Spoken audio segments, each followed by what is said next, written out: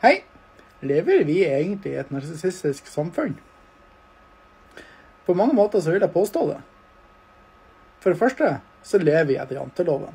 Ingen skal strekke seg ut. Hvis du strekker deg ut, så er du enten gal, eller det er noe feil med deg.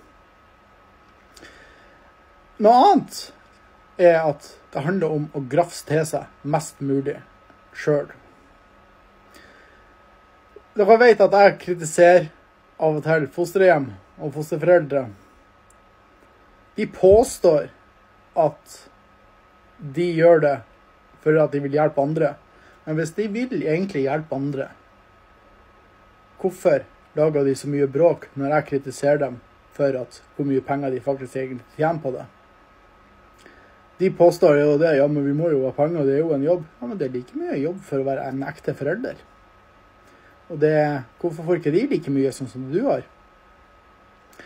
Dette her er jo også en ting. Jeg stilte spørsmålet her til en frisør en gang. Han sa det at han har jobba med det her i mange, mange år.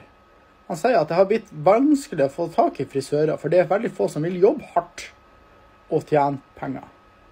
Det handler om å gjøre minst ut av seg og tjene mest mulig på det. Takk for meg.